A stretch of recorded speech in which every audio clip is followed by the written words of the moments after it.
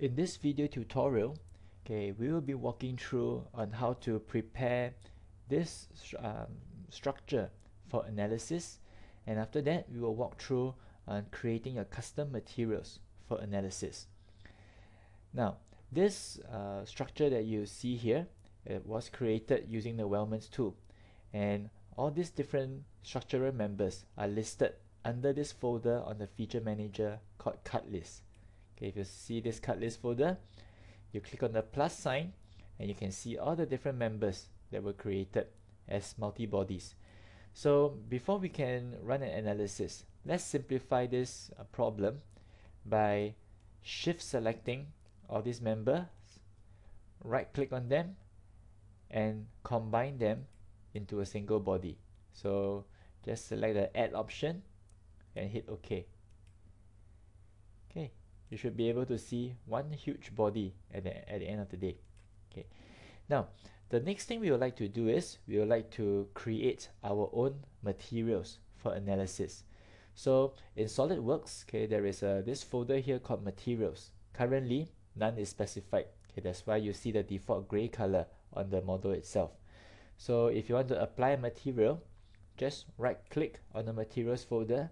You can select from this list of materials here if they're not listed here, you can click on this option called edit material. Okay, and you will fire up a whole list of SolidWorks material, such as the different kinds of steel, iron, aluminiums, etc. Okay, so for this structure, we will like something made out of wood. So if you expand the woods folder, you can see different materials from balsa wood, okay, with all the material properties such as elastic modulus, uh, maybe 3000 per newton per mm square, etc. Okay, if you have got this uh, material properties, you can key them in to create your custom materials.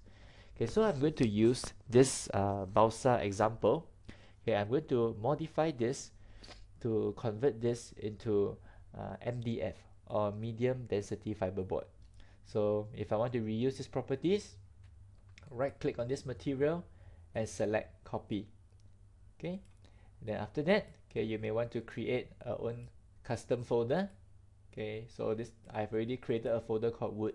So just right click on wood and select paste. And you notice I have imported the balsa from the library and copied and made another copy uh, for our custom materials. And as I click on this material okay you notice that now all these fields are available for me to key in. Okay, so I have already uh, modified them. So let's say for balsa wood, okay, this one, uh, the elastic modulus will be 3500. Okay, just update it. Okay. Okay, and for density, okay, will be this value over here, 0 0.000775. Okay, so just place in this value okay? And you are able to rename this file as well. So just click on the name. So I will type in custom MDF okay? So once you're okay just save the data and you notice that you, you have already created your custom materials. So just select the material you would like to apply and click on apply. Okay so once you're done you'll notice that uh, you can see uh, the preview of the material that you have just applied okay?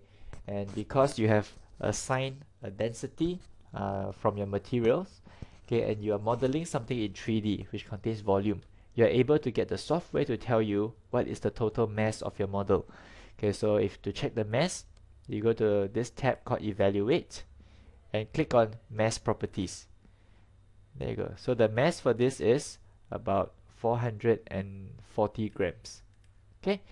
So yep. So in this lesson okay we have learned how to prepare the model for analysis and we have learned how to create your custom materials for analysis